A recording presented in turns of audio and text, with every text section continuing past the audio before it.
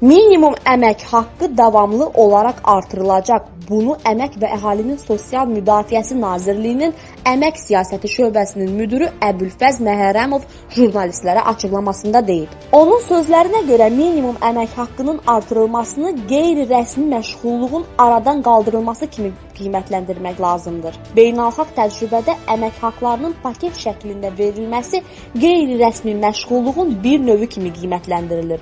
Bu yeniliklərdən sonra əmək haqqının qeyri-rəsmi verilən hissəsi rəsmiləşmiş olur. İşə götürən ixtisassız şəxslərə əmək haqqını 180 manatdan az verməməlidir. Qeyri-rəsmi verilən əmək haqqının iqtisadiyyatımıza mənfi tərəfləri çoxdur. İşçi bundan gəlir vergisi vermir, dövlətə daxil olmalar azalır, büdcəyə daxil olmalar artdıqca əhalinin sosial müdafiəsinin yaxşılaşmasına daha çox vəsait ayırır. Şöbə müdiri qeyd edib ki, bazar iqtisadiyyatı şəraitində bəzi işə götürənlər işçilərə öz mövcud imkanlarından daha az əmək haqqı verirlər.